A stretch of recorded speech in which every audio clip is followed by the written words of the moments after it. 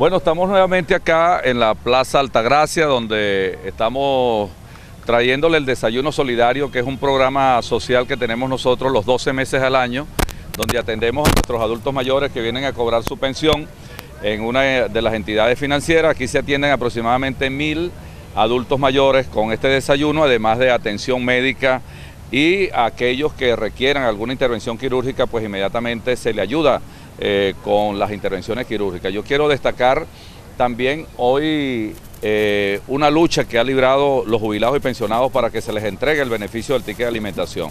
Yo quisiera recordar que esa lucha arrancó en el año 2002, cuando introdujimos la primera reforma a la ley de alimentación, luego en el 2006, luego en el 2011, y nunca los diputados del gobierno quisieron aprobar esta ley para que se beneficiara a nuestros jubilados y pensionados. Hoy la nueva mayoría de la Asamblea Nacional con los votos de los diputados de la Unidad Democrática, aprueban la ley.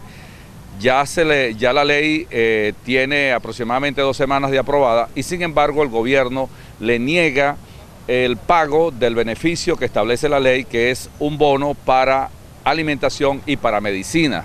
El gobierno alega de que no tiene recursos. Yo quisiera demostrar lo siguiente. En la alcaldía del municipio de Ibarren, a pesar de que nosotros no tenemos los recursos que tiene el gobierno, le entregamos aproximadamente 4.000, 3.600 a 3.800 eh, adultos mayores que no tienen pensión, el Farmatique.